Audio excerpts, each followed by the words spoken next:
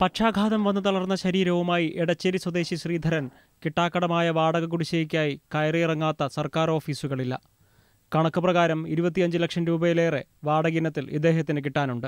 ഉറപ്പുള്ള വരുമാനം പ്രതീക്ഷിച്ചാണ് എടച്ചേരി കവലയിലുള്ള തന്റെ കെട്ടിടം രണ്ടായിരത്തി പതിനൊന്നിൽ രജിസ്ട്രേഷൻ ഓഫീസ് പ്രവർത്തനങ്ങൾക്കായി വാടകയ്ക്ക് നൽകിയത്. ആദ്യ മാസത്തെ വാടക കിട്ടുന്നത് മൂന്ന് വർഷങ്ങൾക്ക് ശേഷം. ഏറ്റവും ഒടുവിൽ വാടക കിട്ടിയത് രണ്ടായിരത്തി പതിനഞ്ച് മാർച്ചിൽ. സർക്കാരിന് വാടക കൊടുത്തിട്ട് കൃത്യമായി മാസത്തിൽ തരേണ്ട വാടകയാണിത്.